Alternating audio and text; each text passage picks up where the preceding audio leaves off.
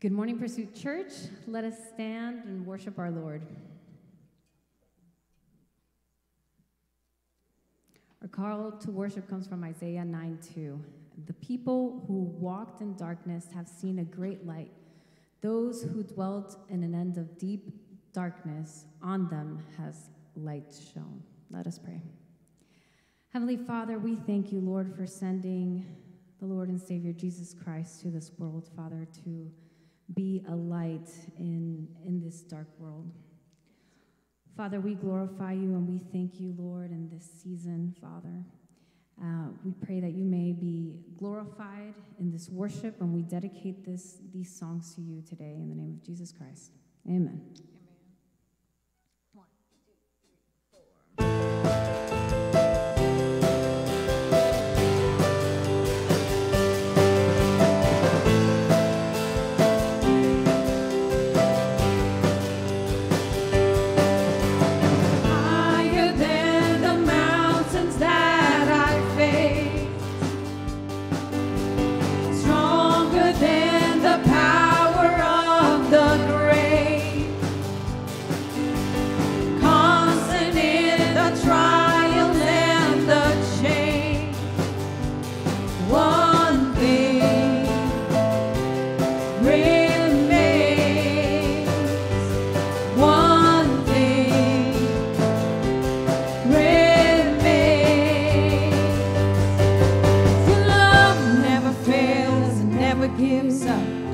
never runs out on me.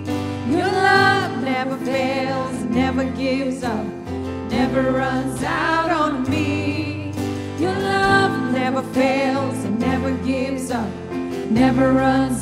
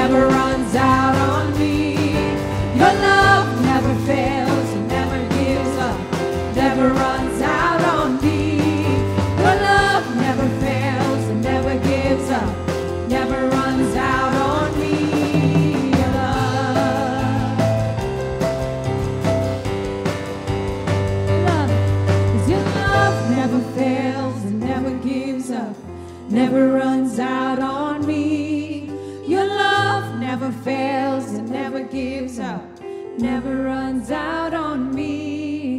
Your love never fails and never gives up, never runs out on me.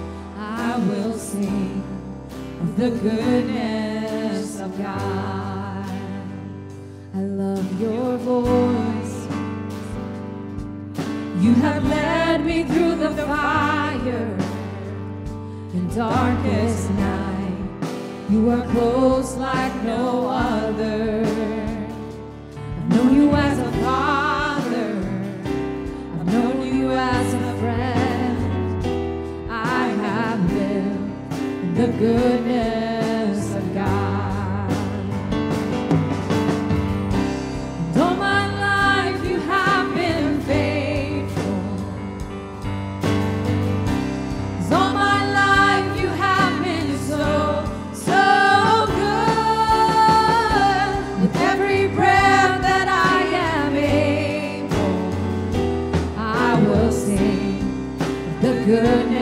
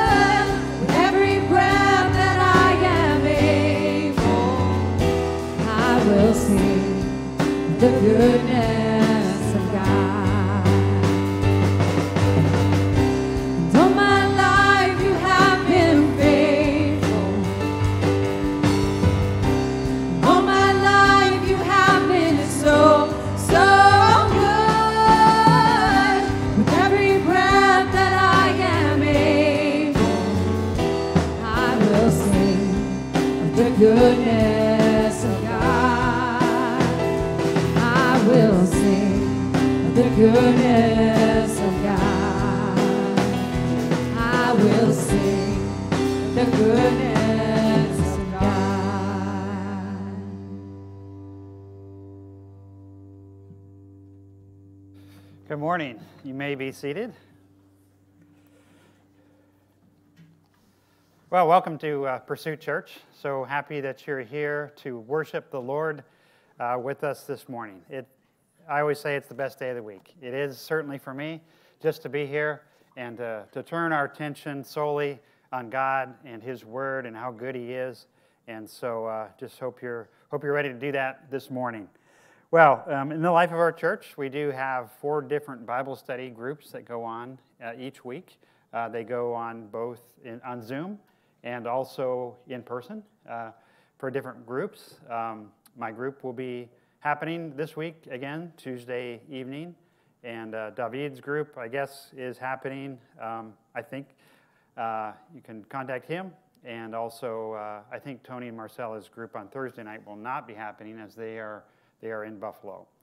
And uh, I don't know if the slide is showing or not. Robert is alone this morning in the, the, uh, the booth, so uh, just pray for him. And oh, there it is. Um, but if you're interested in one of those groups, you could just write down the, the email address there, write to the leader, and uh, they'll write back to you, give you a Zoom link or whatever else that you need to uh, participate in that.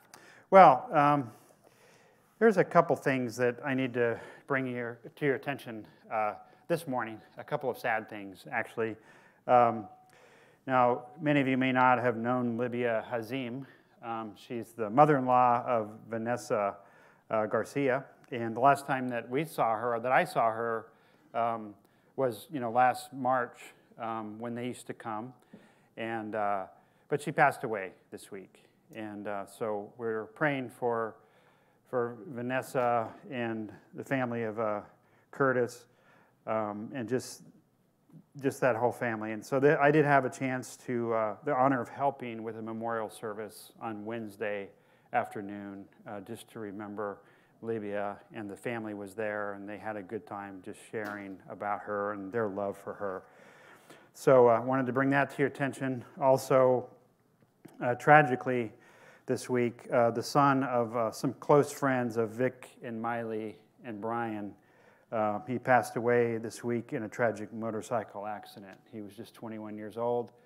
The motorcycle accident, I believe, happened just about a mile north of here on Alafaya Trail. And the family, uh, their name is the Seltzers, and have been very close uh, friends with Vic and Miley for years. And uh, it's one of the most difficult things that I can imagine to lose a child. And so my heart goes out for them. And I know Vic and Miley are heavy and grieving as well uh, for the Seltzer family. And so we'd like to, to pray for them uh, this morning. So please join me in prayer. Father, we, we do thank you for the goodness of, of Jesus and, and his heart that, uh, that wept, Lord, when, when Lazarus died, even though he raised him from the dead. Father, we, uh, we thank you for your, your compassion and your, um, just your heart for us as your, as your people. Lord, you desire everyone to, to know you and to be able to, to be with you forever. And so, Lord, help us take that message with us wherever we go. And Lord, we do pray for uh, these families. Um, pray for Libya's family this morning that you would be with each of them the, the brothers and the, the sisters and the aunts and uncles and um, sons and the sons and the grandchildren, Lord, that you would, you would be with each one of them in a special way, uh, to be close to their heart as they, as they remember Libya. And Lord, we especially pray for the Seltzers today and just the, the tragedy that they've suffered, Lord, just the overwhelming grief that they must be going through. And uh, so I pray, Lord, also for Vic and Miley and Brian that you would be their strength to, to help them support the Seltzer family in this, in this uh, tragic time. And uh, so, Father, we, we uh, just thank you for your goodness and your mercy and your grace that you shower upon us. In Jesus' name, amen. At this time, I'd like to invite the deacons to come and receive the tithes and offerings.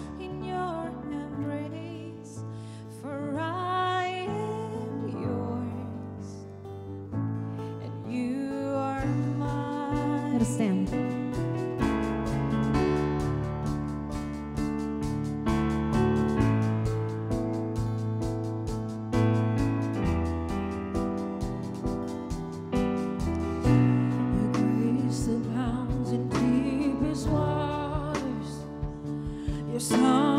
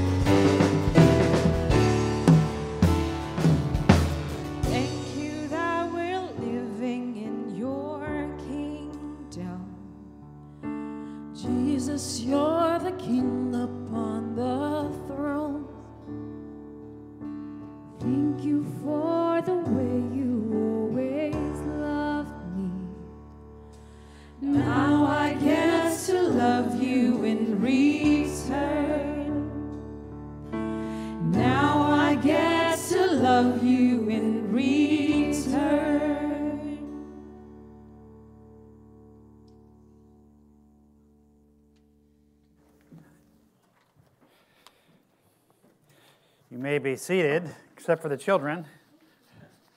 They can be dismissed to their class.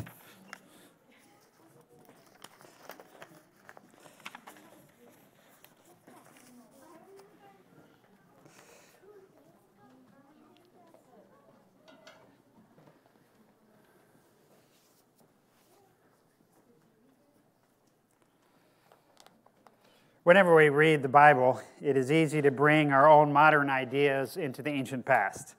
Um, that was the setting of the Bible. But we have to be careful, or at least aware, uh, that we are doing so. Sometimes um, it happens in movies or plays, um, like some of Shakespeare's, and this is called an anachronism. And uh, here are some examples in the slideshow. Okay, I got to read that, so my glasses on. An a chronological misplacement of persons, objects, or events and ideas in a piece of art or literature is an anachronism. Let's look at a few. Oh, there's one. I don't know if that's Beethoven or Bach.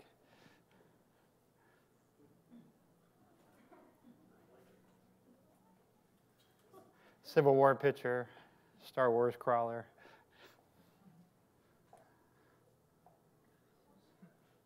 Looks almost normal.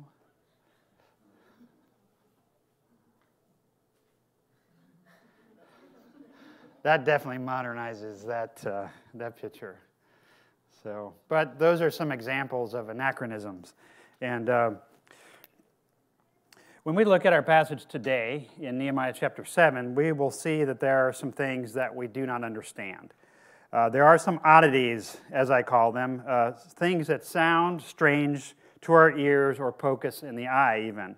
Um, one of the, the uh, features of this chapter is a genealogy, okay? And uh, we are going to listen to it in its entirety. Um, this is a chapter of the Bible that if we were reading, we would most likely just kind of skim, skim past this. Uh, when a preacher preaches, there are usually several objectives. So the first is that people better understand their Bible. That is certainly a goal of mine that you understand what's actually happening in the Bible so that you can make correct inferences and base your knowledge on a firmer and firmer foundation as you study and read the Bible. We have to understand the Bible is the Word of God, and as we've discussed, it's not easy to do so when the time and places and objectives are so different from our own. We have to come to some understanding of what's actually being said and this is a job in itself as language usage, the translation, and other issues can obscure the main points. Um, then we need to understand the why of things that are being said in their, in their context. Why is the author saying that? But even more deeply than that, why are the things even said at all? Sometimes is a deeper level that we need to think about. Um, what are the objectives of what is being written? So, another objective as a preacher is to make sure that we understand God's redemptive plan.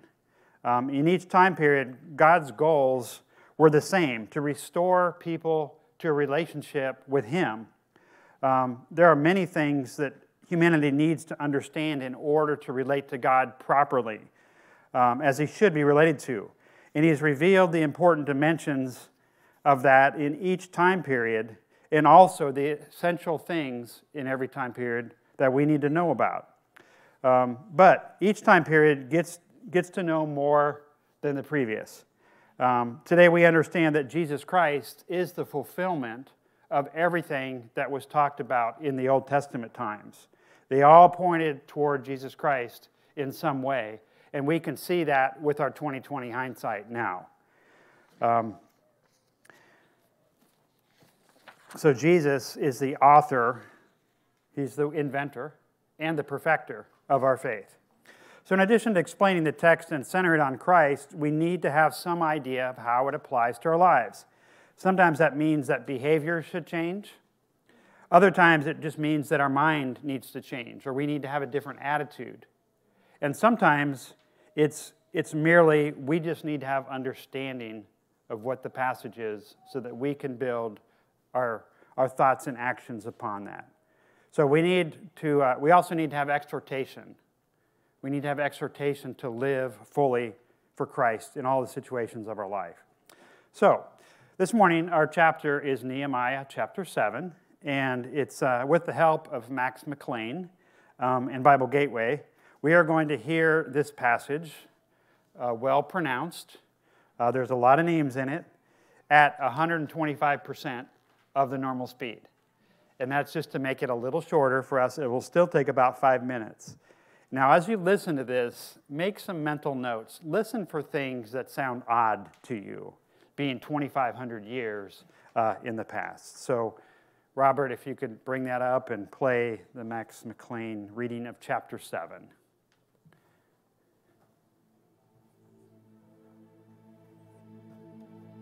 Nehemiah 7. Now when the wall had been built, and I had set up the doors, and the gatekeepers, the singers, and the Levites had been appointed, I gave my brother Hanani and Hananiah the governor of the castle charge over Jerusalem. For he was a more faithful and God-fearing man than many. And I said to them, Let not the gates of Jerusalem be opened until the sun is hot. And while they are still standing guard, let them shut and bar the doors. Appoint guards from among the inhabitants of Jerusalem, some at their guard posts, and some in front of their own homes. The city was wide and large, but the people within it were few, and no houses had been rebuilt. Then my God put it into my heart to assemble the nobles and the officials and the people to be enrolled by genealogy. And I found the book of the genealogy of those who came up at the first, and I found written in it. These were the people of the province who came up out of the captivity of those exiles whom Nebuchadnezzar the king of Babylon had carried into exile. They returned to Jerusalem and Judah, each to his town. They came with Zerubbabel, Jeshua, Nehemiah, Azariah, Raamiah, Nahamani, Mordecai, Bilshan, Mispereth, Bigvai, Nehum, Anah. The number of the men of the people of Israel, the sons of Parosh, 2,172. The sons of Shephatiah, 372. The sons of Arah, 652. The sons of Pahath Moab, namely the sons of Jeshua and Joab, 2,818. The sons of Elam, 1,254. The sons of Zattu, 845 the sons of Zaccai, 760, the sons of Binnui, 648, the sons of Bebai, 628, the sons of Azgad, 2,322, the sons of Adonikam, 667, the sons of Bigvai, 2,067, the sons of Adin, 655, the sons of Ater, namely of Hezekiah, 98, the sons of Hashum, 328, the sons of Bezai, 324, the sons of Hariph, 112, the sons of Gibeon, 95, the men of Bethlehem and Netophah, 188, the men of Anathoth, 128, the men of Beth Azmaveth, 42, the men of Kiriath Jearim, Chephirah, and Beeroth 743, the men of Ramah and Geba 621, the men of Michmas 122, the men of Bethel and Ai 123, the men of the other Nebo 52, the sons of the other Elam 1254, the sons of Harim 320, the sons of Jericho 345, the sons of Lod Hadid and Ono 721, the sons of Senah 3930. The priests, the sons of Jedaiah, namely the house of Jeshua, 973. The sons of Immer, 1052. The sons of Pashur, 1247. The sons of Harim, 1017. The Levites, the sons of Jeshua, namely of Kadmiel, of the sons of Hodevah, 74. The singers, the sons of Asaph, 148. The gatekeepers, the sons of Shallum. The sons of Ater, the sons of Talmon. The sons of Akkub, the sons of Hatita. The sons of Shobai, 138. The temple servants, the sons of Ziha, the sons of Asapha, the sons of Tabbaoth, the sons of Keros, the sons of Sia, the sons of Padon, the sons of Lebana, the sons of Agaba, the sons of Shalmai, the sons of Hanan, the sons of Gedel, the sons of Gahar, the sons of Reaiah, the sons of Rezin, the sons of Nekoda, the sons of Gazzam, the sons of Uzzah, the sons of Paseah, the sons of Besai, the sons of Meunim, the sons of Nephoshaim, the sons of Bakbuk, the sons of Hakupha, the sons of Harhur, the sons of Bazlith, the sons of Mehida, the sons of Harsha, the sons of Barkos, the sons of Sisera, the sons of Temah, the sons of Neziah, the sons of Hatipha, the sons of Solomon's servants, the sons of Sotai, the sons of Sophereth, the sons of Perida, the sons of Jalah, the sons of Darkon, the sons of Giddel, the sons of Shephatiah, the sons of Hattil, the sons of Pochereth-hazzebaim, the sons of Amon. All the temple servants and the sons of Solomon's servants were 392. The following were those who came up from Tel Melah, Tel Harsha, Sharab, Addan, and Immer. But they could not prove their fathers' houses nor their descent, whether they belonged to Israel. The sons of Delaiah, the sons of Tobiah, the sons of Nekoda, 642. Also of the priests, the sons of Hobaiah, the sons of Hakkoz, the sons of Barzillai, who had taken a wife of the daughters of Barzillai, a Gileadite, and was called by their name. These sought their registration among those enrolled in the genealogies, but it was not found there, so they were excluded from the priesthood as unclean. The governor told them that they were not to partake of the most holy food until a priest with Urim and Thummim should arise. The whole assembly together was 42,360 besides their male and female servants, of whom there were 7,337.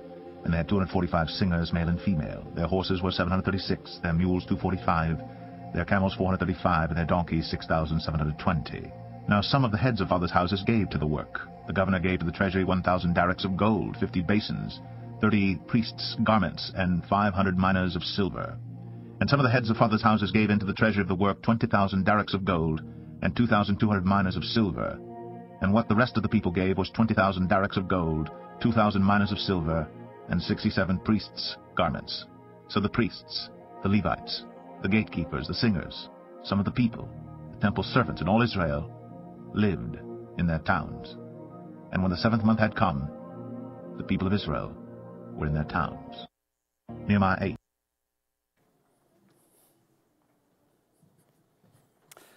Well, did you catch all that? That's a lot. A lot of names. But the interesting thing is, is that uh, God knows all of our names too.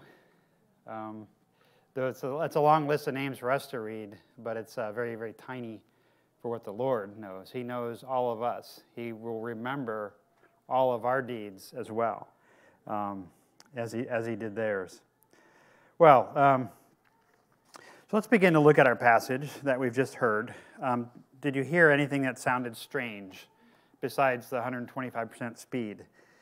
Um, maybe even repulsive. Certain things might have stuck you as like, well, why are they doing that? Well, since we're not going to take a poll of all that you noted, um, let me highlight a few things that I struck me as odd in this passage for us to review. Verse 1, it says, Now when the wall had been built and I had set up the doors, and the gatekeepers, the singers, and the Levites had been appointed. So, oddity number one um, why are singers appointed along with the guards of the gates? Can you picture that? The choir is out at the walls guarding the gates. Okay, verse 2 through 4. And I gave my brother Hanani and Hananiah, the governor of the castle, charge over Jerusalem he was more faithful and God fearing than many. And I said to them, Let not the gates of Jerusalem be opened until the sun is hot, and while they are still standing guard.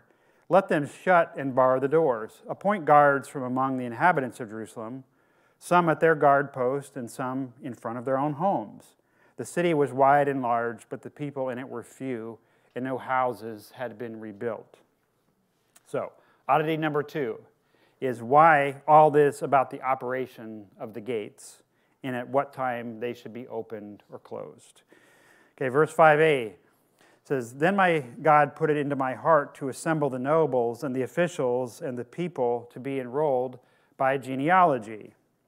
So, oddity number three how is it that Nehemiah is always so confident about God and his will? He said, God put it into my heart. Oddity number four what is the significance of a genealogy? Um, is it an attempt at racial cleansing or some form of racism? So those things stick out to me. Verse 5b through 6. and I found the book of the genealogy of those who came up at first, and I found written in it, These are the people of the province who came up out of the captivity of those exiles whom Nebuchadnezzar the king of Babylon had carried into exile. They returned to Jerusalem and Judah, each to his own town. So, oddity number five. So, so far we have five verses and five oddities. Um, So, why use a 90 year old genealogy? That's another thing. So, then this genealogy begins, of all those names begin flowing. But in verses in 43 and 45, it said this It said, The Levites, the sons of Jeshua, namely of Kadmiel, and the sons of Hadavah, 74. The singers, the sons of Asaph, 148. The gatekeepers, the sons of Shallum, the sons of Ater, the sons of Talmon, the sons of Akbub, the sons of Hattiah, the sons of Shobai, 138. The temple servants and the sons Ziha, the sons of Hasupha, the sons of Tabbaoth. Now, oddity number six is why are all of these vocations being named along with their names? Like we got Levites, we've got singers, we've got gatekeepers, and temple servants. So, verses 50, 61 through 64. The following were those who came from Tel Melah and Tel Harsha, Cherub, Adon, and Emer, but they could not prove their fathers' houses nor their descent, whether they belonged to Israel. The sons of Delaiah, the sons of Tobiah, the sons of Nekoda, 642. Also of the priests, the sons of Hobaiah, the sons of Hakkoz, the sons of Barzillai, who had taken a wife of the daughters of Barzillai the Gileadite and was called by their name.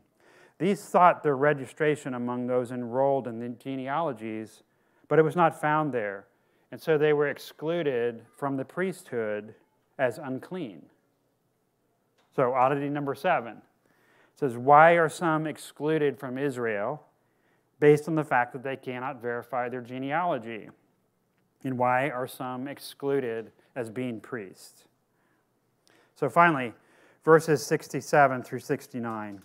Besides their male and female servants, of whom there were 7,337, and they had 245 singers, male and female, and their horses were 736, their mules 245, their camels 435 and their donkeys 6,720.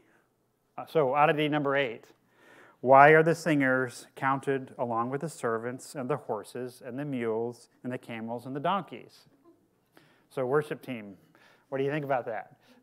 How do you like being counted along with the horses and the camels and the donkeys? Um, it's a little bit odd. So, and the truth is, I don't know why, and there won't be an answer to that question. But maybe that will become your favorite verse, and you could make a little frame or something and put it up on your wall at your house. Uh, but in any case, so these are things that seem odd to us as modern readers. The whole thing is odd, actually. Um, this whole idea of a genealogy and you know all of this bother that they go through um, in these situations. So our postmodernist mentality causes us, first of all, to be suspicious of any truth claims. Why should what they say is true even be considered as true?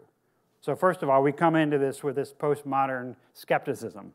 Second of all, if you've noticed that there, in today's world, there's a lack of education in the social sciences regarding history. Um, there seems to be a lack of respect of previous generations and the lessons that they've learned.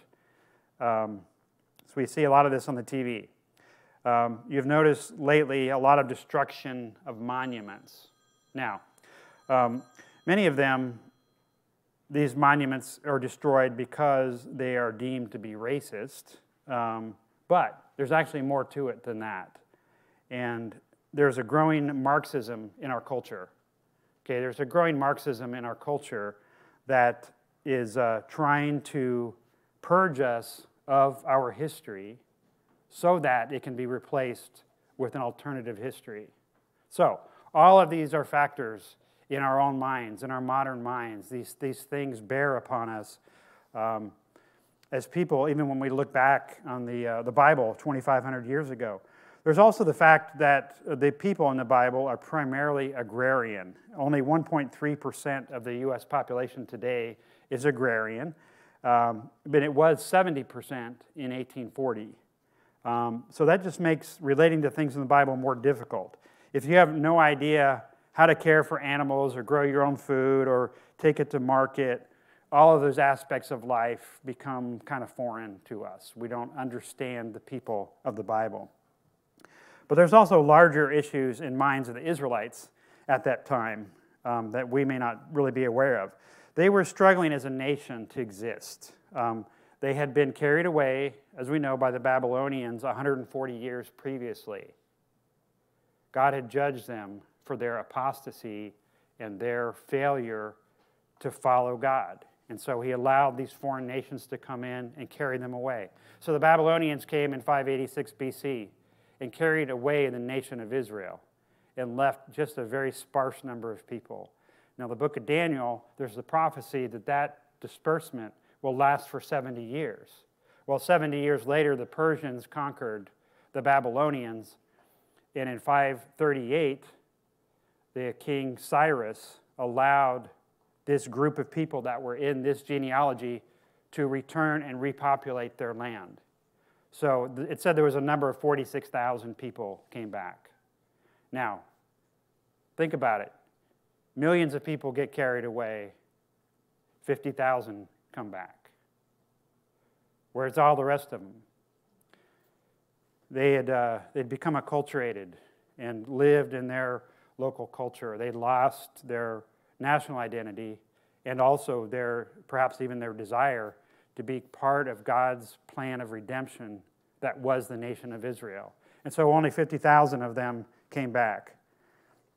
So they also had, uh, they were, a few chapters ago, we talked about some of the struggles that they had. They had economic struggles, um, they were struggling financially, their farms were failing, they were in drought. They were having to even sell themselves into servitude. So they had these things going on as well. Then they had the threats of their physical safety from these villains, Sanballat and Tobiah and Geshem. So protection and physical safety were a big deal to them. Then theologically, they were a nation emerging from this time of national tragedy. They were carried away into exile, which was a judgment of God because of their turning away from God to their worthless idols. They wanted desperately to live in the right way. And so, a way to ensure God's favor so that they would not suffer his rejection and judgment again. So, all these things are in their mind. Now, the people that returned were just this remnant, as we talked about 50,000 had returned. Um, so, we see that we've seen that Nehemiah was this man that God raised up.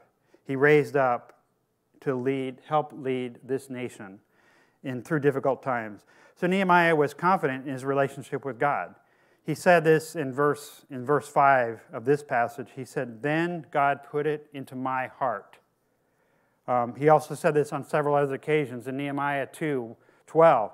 Then, it then I arose in the night, and a few men with me, and I told no one what God had put into my heart to do for Jerusalem.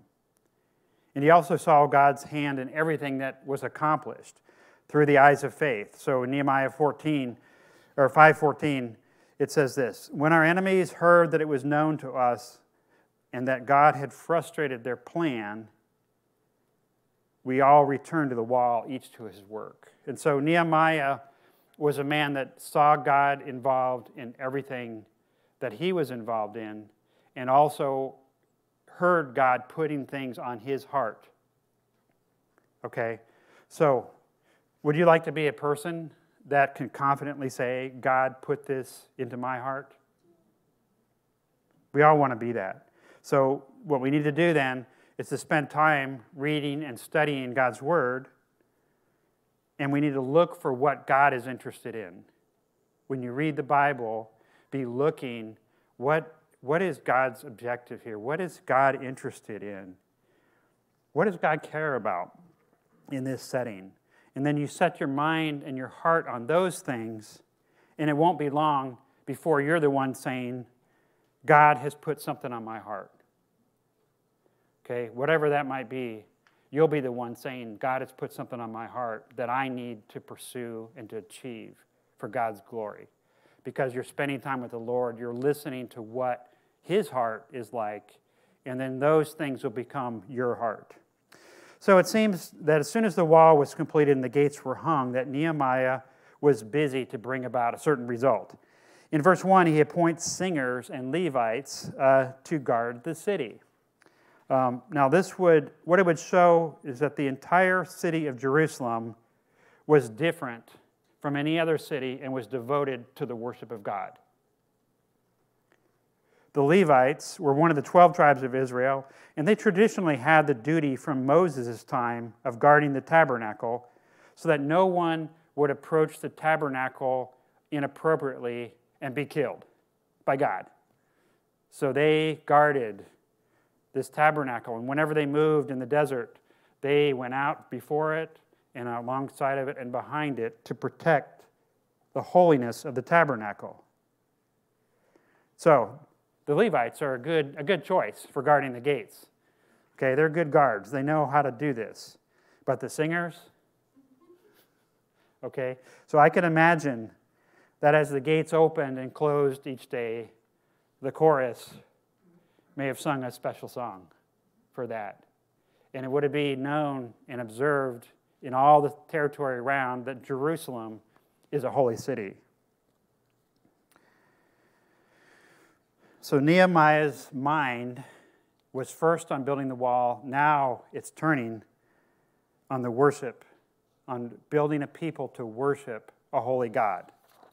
As we read further, we see that he prescribed certain hours for the gates to be opened, and they were not very many. With the gates opened, the, the, people's, the people that lived inside of the city, their attention was divided. Okay? The gates are open, they had to be guarded, all of this commerce is coming in and out of the city, and the people's attention that lived there was divided. And so Nehemiah said, only certain hours, when the sun is high, when the sun is hot, we're going to open the gates. And then a short time later, they're going to be closed again. So he did this for protecting the people within the city so they could stay on task. Now, on Thanksgiving Day, Janine and I were driving around, course, because we'd forgot to do some of our shopping on Thanksgiving, and we found something different this year that all the stores were closed. Walmart was closed, Publix was closed, you know, all this. Maybe you've noticed that yourself. Um, normally, those stores are open. But we also noted and remembered a time when every Sunday everything was closed. Now, most of you haven't grown up with that. You're not that old. But when I grew up as a kid, nothing was open on a Sunday. And that has cost us greatly in our, in our country. Um, everyone had a Sabbath day, everyone had a day of rest when basically nothing was open. Okay, you went home, you were with your family. You went to church, you were with your family. So, how much the country has suffered by losing our faith in God.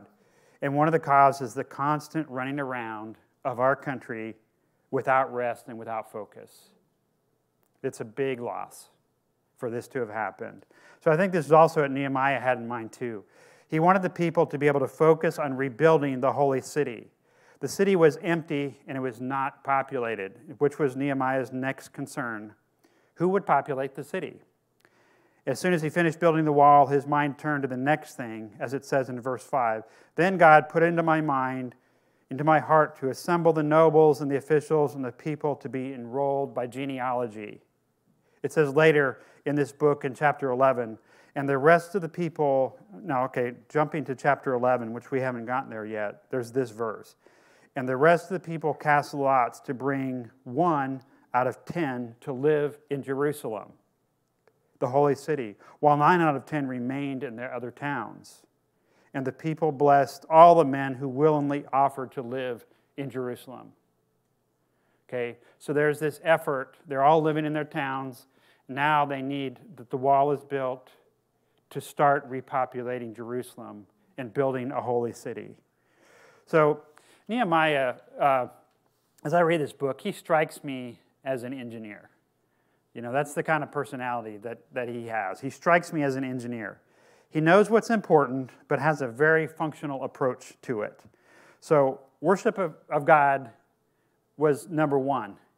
He knew that. Worship of God is number one in this nation.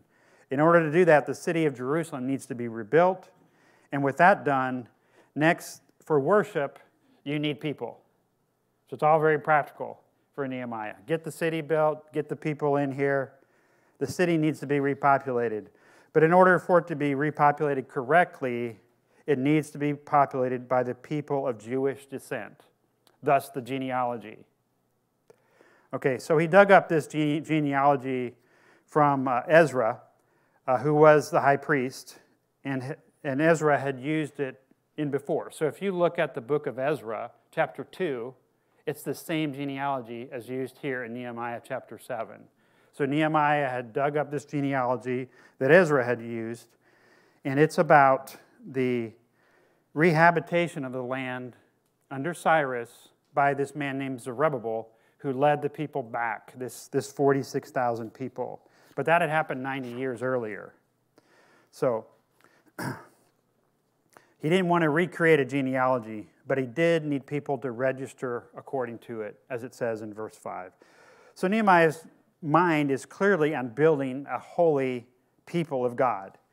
And uh, hopefully now some of those oddities are beginning to make a little bit more sense now. But there's one thing that I am sure that seems very strange to our modern ears that does need to be explained further. And it's this Why are some people that cannot prove their genealogy exclude from, excluded from belonging to Israel, as it says in verse 61? So it seems harsh and cruel to exclude someone that wanted to be included. Um, they were faithful, hardworking people. How could they be excluded? Well, first of all, it needs to be explained that they were not being excluded from being in the nation. They had their homes, they were citizens, they were not being kicked out. But they were not descendants of Abraham. And so Nehemiah was aware that the covenant that they were under with God was for the descendants of Abraham. So I'll read this in Genesis 12. This is a very, very foundational verse, this Genesis 12 passage for the Jews and their understanding of their nation. It's almost like our, our Constitution. Okay, so Genesis 12, when God first began to speak to Abraham, the Lord said to Abram, Go from your country and from your kindred and your father's house to the land I will show you, and I will make you a great nation, and I will bless you and make your name great, so that you will be a blessing. I will bless those who bless you, and him who dishonors you I will curse. And in you, or through your genealogy, all the families of the earth will be blessed. So we see here that God had a plan. He started with this one man, Abraham and he said, You're nothing. You're just one man, but I'm going to take you and I'm going to build a great nation out of you. And through that nation, I'm going to bless all the nations of the earth. So, this is a very foundational concept for a Jewish person to understand that through the descendants of Abraham, the nations of the world would be blessed. And so that's where we are now. Nehemiah realizes that in terms of their nation, they were judged, they were taken into exile, and now they were rebuilding. And they're continuing, they're continuing in this blessing that God had given to Abraham. So God was not concerned about only one people group. He wanted to bless all the nations of the earth, but through the one holy nation descended from Abraham. So this is the covenant that Nehemiah was in and though he was just an engineer, he was also concerned with theology too. So God was in the process of restoring a holy nation, and Nehemiah knew that it had better be done correctly, despite the terrible cost and heartache of having even to exclude some people from living in Jerusalem. So the people that were not part of the in group um, would not be eligible to live in the holy city. So even if we do understand it, it still seems harsh and cruel. Uh, but given that intermarriage with the surrounding nations had led to idolatry and falling away from God originally, you can now see why it's essential for them not to make the same mistakes over again. So, but today in the church, we have a similar issue. We have to be able to proclaim who's in and who's out from the family of God. Okay, the Bible makes it clear that genealogy is what determines your salvation. Now, all of you are looking at me, waiting for the next heresy that comes out of my mouth. Okay, but let me explain this. The Bible makes it clear that genealogy is what determines your salvation. Now, so you're all listening, but here's, here it is John chapter 1, verses 9 through 13. Jesus said, well, John said these words. He said, The true light, which gives light to everyone, was coming into the world. Speaking of Jesus. He was in the world, and the world was made through Jesus, and yet the world did not know him. He came to his own, and his own people did not receive him. But to all who did receive him, who believed in his name, he gave the right to become children of God, who were born not of blood, nor of the will of the flesh, nor of the will of man, but of God. So, genealogy, being born of God, determines whether you will be in the heavenly city. And we also see that it's not by race or color or creed. We see God's plan has been fulfilled through Jesus Christ to bless all of the people of the earth through this nation of Israel. But that's a couple thousand, that's a, several hundred years later and a couple thousand years ago for us. It says it right here that many of the Jewish people by race did not receive him. But to those that did receive him by faith, he gave the right to become children of God, who were born not of the will of man, but of God. So when you personally put your faith in Jesus Christ, the Bible says that you were born spiritually.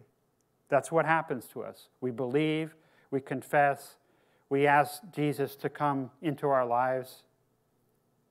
And the Bible says that when there's genuine faith, there is a rebirth, a spiritual birth that takes place at that time. So, just like any other creature that is born, um, you have a new set of capacities that come from your parents. Okay? Same thing with being a Christian, being born of God means that you have a new set of spiritual capacities that come from God. You are a new creature, the Bible says. Old things have passed away, all things have become new because you are a new creature. But your genealogy does determine if you will live in the heavenly city. And that's, of course, the genealogy of being born of God. We do no favors of telling people any differently. You must be part of God's genealogy to be in God's family. You must be born of Him by putting your faith in Him. So, next, there is an odd situation of people being excluded from being priests because they could not prove their genealogy. So, in our modern day, um, anyone could be a priest. Of course, if you're qualified and go to seminary and whatever that the church denomination demands of you. But in some parts of the church, it can also be men or women. So again, it sounds odd to us to exclude people in our modern thinking. But under the covenant, they were trying to under the covenant that they were trying to reestablish, the only ones that could be priests had to come from the tribe of Levi. It's one of the 12 sons of Jacob, and the Levites were God says, "I'm taking this tribe to be my own. They will take care of the tabernacle and the temple, and all of the priests come from that group of people, the Levites. So they had to come, the priests had to come from the tribe of Levi that Moses and Aaron were from. And, but it was not all the Levites that could be priests, only some of them could be priests. So it's clear that Nehemiah now is not just building a wall, but building a community, a spiritual community. And though that is the ultimate job of priests like Ezra, whom we will meet in the next chapter, in chapter 8, he was going to do all that he could do to lay the infrastructure of a holy city and a holy people. So God is creating a special people. God is creating a special people to be able to know and relate to Him, of which we are a part. Uh, before this can be done, God had to overcome some significant obstacles. Okay, this is not an easy thing to do for God to be able to relate to you. Okay, God had to overcome some obstacles. So, how can a perfect holy God relate to sinful, rebellious people? How can God be just or have justice and at the same time a justifier of sinful people like us? And that really is the core message of the Bible. The core message of the Bible is how can a holy God live and relate to unholy people? If you wanted to summarize the whole Bible, that's a good place to start. Because God has been working at that since the very beginning with Adam and Eve. We can trace it all through the Bible and culminating in Jesus Christ. So, next week, we're going to start part two of this sermon right there. This is a to be continued sermon. Um, but we're going to pick up from this place and answer this question how can a holy God live and relate to unholy people? So we need to first understand. Um, we need to understand that first, before we can understand how to grow in our own holiness, um, we need to understand God's holiness. It says in Leviticus chapter 11, it says, For I am the Lord your God Consecrate yourselves, therefore, and be holy, for I am holy. For I am the Lord who brought you up out of the land of Egypt to be your God. You shall therefore be holy, for I am holy. So God wants to relate to us individually. And yet, as I just said, there are these obstacles for God to overcome. And then He did this through a scheme that He cooked up within the Trinity from the beginning of time the Father, the Son, and the Holy Spirit came up with this scheme that we call redemption and salvation in Christ. So we'll jump right into that next week. Even as odd as the Bible seems at times, um, we can be sure that there are reasonable answers. Um, that they're not just based on tradition or preference, but on who God is. So if we know who God is, what his heart is, the confusion and the doubts disappear. Okay, God is holy. What does that mean? How can God be holy and still relate to sinful men? What does He want from me? What does it mean for me to be holy? That's what we're going to explore next week. So please pray with me now.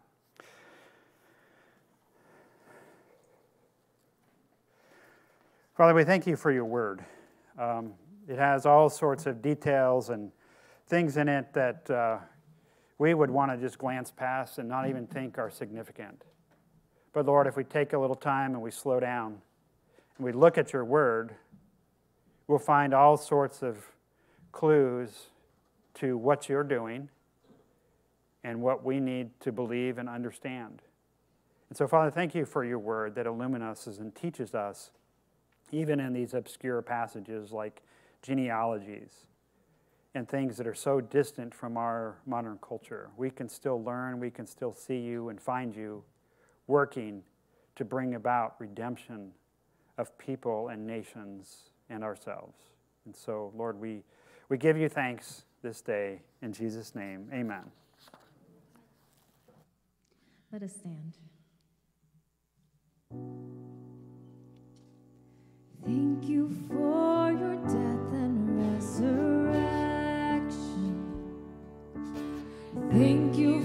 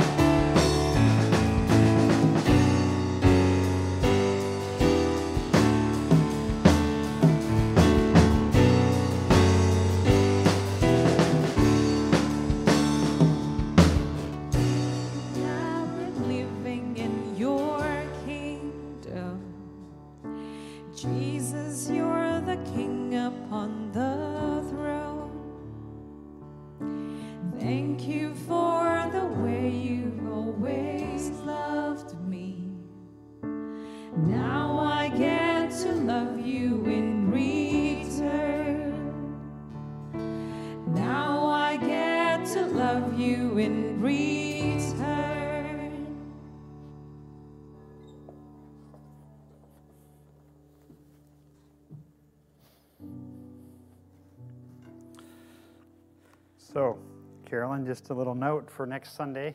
Um, the worship team, the theme is holiness. So, I, I don't usually give Carolyn any uh, prompt about what to sing, but uh, next week she's not going to be here, and uh, others will be filling in. But uh, that's that's going to be our theme next week. So, all right, now for the benediction, which is God's blessing for you, and uh, I'm going to read today from Ephesians chapter 2, verses 19 through 22. So then, you are no longer strangers and aliens, but you are fellow citizens with the saints and members of the household of God, built on the foundation of the apostles and the prophets, Christ Jesus being the cornerstone, in whom the whole structure, being joined together, grows into a holy temple of the Lord, in whom you are also being built together into a dwelling place for God by the Spirit. So, all this talk of Nehemiah building walls and building cities and a holy people, this is you. This is what God has built in His church in Jesus Christ. A holy people being built into a dwelling place for God in the Spirit, and that's you. So go in that knowledge and be blessed this week. In Jesus' name, amen.